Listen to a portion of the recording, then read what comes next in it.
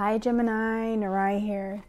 Thank you so much for stopping by. I'm going to do a reading for you for Gemini, uh, Gemini, Sun, Moon, Rising, Venus, North and South Node. Please know to take what fits and leave the rest. Know to take what fits and leave the rest. Spirit, what messages do we have for Gemini? Please and thank you. Messages and guidance for Gemini, please and thank you. What is not for you, maybe for someone else. And this is not a personal reading. Message for Gemini, please and thank you. I didn't see it. I did see that one. Hmm.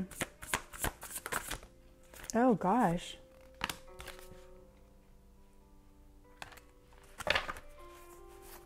Right. This is going to be quick. so, the first card I pull is the Sun card, which has to do with your happiness. It's the happiest card in the deck, it's the brightest card in the deck, but this has to be with you and your happiness. I think this is more about you taking responsibility for your happiness. Um, I feel a lot of you are happy because you're getting your confidence back in regards to something that may have occurred in your life that kind of had a dark cloud over you some for some time. Um, and then I have this the Queen of Wands. This is the social butterfly. This is my Stella or Stan got their groove back card. This is somebody that has their confidence back, is getting out and meeting people or going online and meeting people. Um, people are noticing this person. Um, if this is you, people are noticing you, people are being drawn to you. I'm kind of like getting in my mind that, like, you can see somebody in the store and ask them a question about a product that they're looking at uh, or food and ask them if they've if they've purchased it before and you and this person are standing there having a full blown conversation that started off about one thing and led into something else, and this person is spilling all the, the beans and telling you all the chisme about their life. But I feel like you're happy, but you're comfortable by yourself if you're not in a romantic relationship. Um, yeah, you had a situation that had you having sleepless night, so that dark cloud I mentioned earlier, that did happen. I think you guys were in hermit mode. You're out of hermit mode now. I'm saying hermit mode. I think you were in hermit mode. You are out of hermit mode now. I say that because she's sitting there with the cat but this is the Hierophant, hermit mode. Um, with the Hierophant, I think that maybe some of you are realizing that you don't want a traditional relationship. Or maybe the reason that things were dark for you is because you were involved with somebody that didn't have the same morals and values that you had. I have the Empress card. This is marriage material. You may have thought somebody was marriage material or you, you're marriage material, and this person just didn't want the same thing. But I feel like you guys are very nurturing. You're nurturing yourselves, you're taking care of your responsibilities, trying to be there for the people in your lives, um, in your life uh, that may need you. There may be some ideas that you're planting and giving birth to. But I see this as somebody beautiful, somebody kind, somebody successful. I have the Tower card. So something happened, but something happened. Um, something fell apart so that something better could come along. Either something better could come along or something stronger could come from it.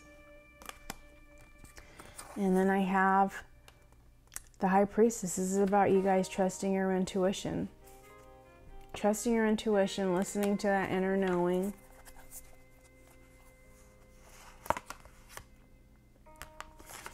And then I have the Three of Wands. This is about you guys seeing what else is out there. Um, this is about planning and taking action.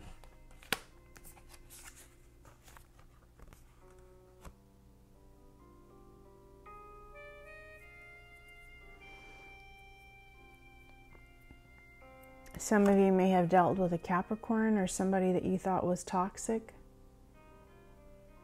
I think now when you get involved with people, and I'm not saying all Capricorns are toxic, this card can come out to represent any sign. This is just happens to be the card associated with Capricorn. But it um, it represents a lot of things. Um, one of them being obsession. Um, I think now when you go into relationships, you're going to have a plan as far as what to look out for. Or when you're dealing with people, this doesn't even have to be a romantic relationship. And you're going to know when to walk away. You're going to know what doesn't serve you when you're being led, strung along, played with, and you're going to know when to walk away with the Eight of Cups.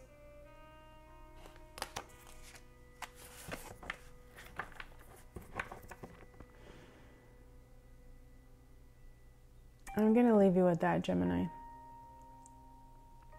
I'm going to leave you with that. Am I?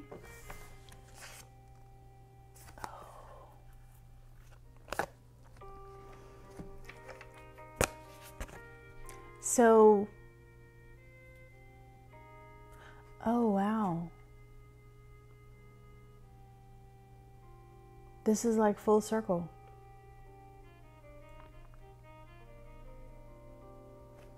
This is also about walking away when you're dealing with toxicity. And the funny thing, after that is the Four of Wands stability card, the reason to celebrate card, and the marriage card. I feel like some of you wanted marriage with somebody that was not on the same page as you and that that didn't work out. You had sleepless nights, things fell apart. And that now you have to trust your intuition and have a plan. And when somebody's toxic or things are not working out, because um, your time is valuable too, you will know when to walk away from someone. And what that will do is that will get you closer to someone else that is in alignment with you that is going to want marriage and help you have a, st- a, stable relationship, whether there's marriage involved or not, because every Gemini does not necessarily want marriage. But that is what I have for you. Now the reading is over. So I thank you for watching, sharing, and subscribing, and I love you. And until next time, bye.